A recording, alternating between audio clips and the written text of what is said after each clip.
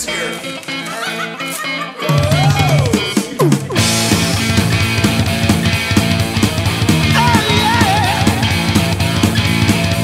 Oh, teacher stop